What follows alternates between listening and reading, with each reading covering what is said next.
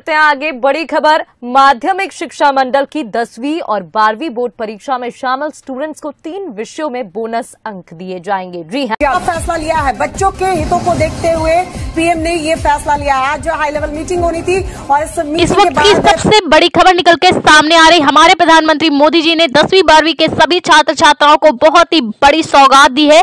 इस बार पास होने वाले सभी छात्र छात्राओं को तीन विषयों में बोनस अंक दिए जाएँगे। साथ में ज़्यादातर हर परीक्षार्थी को टॉपर बनाया जाएगा। हाल ही में हुई बैठक के माध्यम से ये बड़ी खबर निकल के सामने आ रही।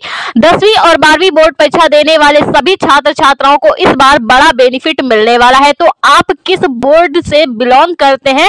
कमेंट बॉक्स में अपने बोर्ड का नाम और ज़िले का नाम कमेंट करके ज़रूर बताइएगा। इससे पहले आप ये जान लें, चाहे आप सीबीएसई बोर्ड हो आईसीएसई बोर्ड हो यूपी एमपी बिहार, राजस्थान, झारखंड, छत्तीसगढ़ समेत कई सारे बोर्डों में ये बदलाव देखने को मिलेंगे। आप चाहे दसवीं के छात्र हो या फिर बारहवीं के सभी परीक्षार्थियों को इस बार 2025 बोर्ड परीक्षा का बड़ा लाभ मिलने वाला है। वहीं सीबीएसई की बात करें तो 2025 बोर्ड परीक्षा में सीबीएसई नए पैटर्न को लागू करने की तैयारी में है, जिसको लेकर स्कूलों के सभी प्रधानाध्यापकों के इस पर सुझाव भी मांगे गए हैं। सीबीएसई इस बार से दो बार बोर्ड परीक्षा साल में कराने की योजना बना चुका है, जिसको लेकर सभी परीक्षार्थियों में आक्रोश देखने को मिला है, क्योंकि अभी तक सभी परीक्षार्थी साल में केवल एक ही बार बोर्ड एग्ज़ाम देते थे।